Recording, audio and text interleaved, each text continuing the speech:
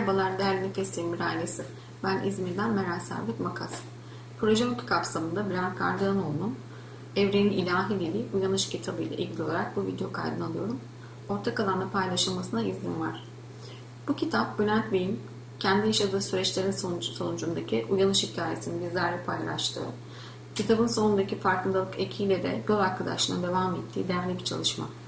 Benim kitaptan birkaç yıl önce haberim oldu. Ee, gerçekten çok sıkıntılı ve yardım arayışında olduğum, kalbimden sessiz çığlıklar attığım, benim için oldukça zorlayıcı bir süreçteydim.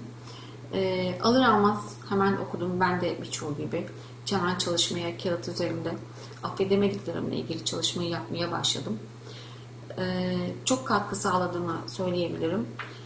O zaman ilk okumayı yap, yaptıktan sonra e, adım adım ben de o benzer merhalelerden geçtim ve e, benim duygularımı Bülent Bey'in hissetmiş olmasını hem hayretle e, hem de sevinçle karşıladım. Çünkü birileri de vardı ve bu süreçten çıkmışlardı. Bana çok büyük umut oldu o kitap.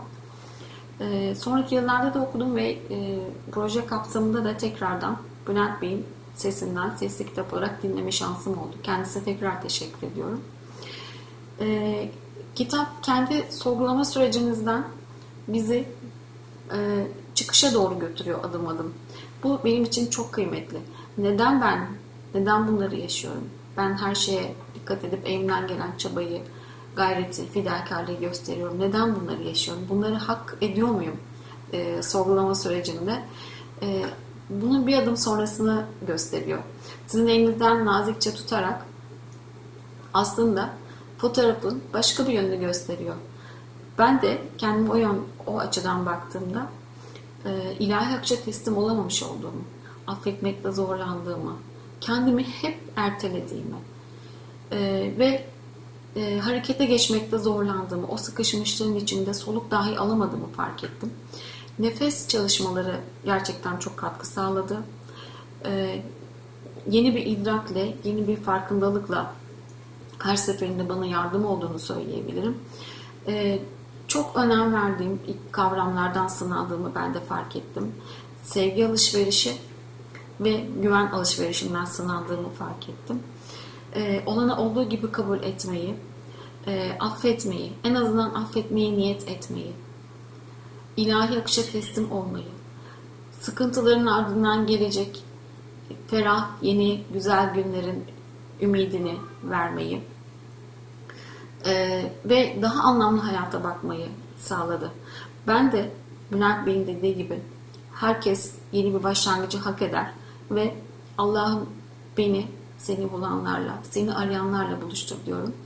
Ee, bütünüm ve benim en yüksek hayrıma ee, ben de bütüne katkı sağlamaya, kendimi bu süreçten sağlıkla daha yukarıya çıkarmaya ve sevgiyle bu dünyada güzelliklerle yaşamaya, ben de varım demeye, ben de mucizeleri hak ediyorum demeye, ben de oh be demeye kendimi artık daha layık gördüğümü fark ediyorum. Daha öncesinde gerçekten e, o kadar ilgimi başka yerlere dağıtmışım ki e, o kadar enerjimi benim dışında her yere ve herkese vermişim ki bana gerçekten sıra gelmemiş. Bu şekilde e, benim de görülmediğim, sesimin duyulmadığı, fark edilmediğim kişileri, durumları, süreçleri hayatıma çekmişim. Ve evet kızacak kimse yok. Değiştirebileceği tek kişinin kendim olduğunu artık fark ettim.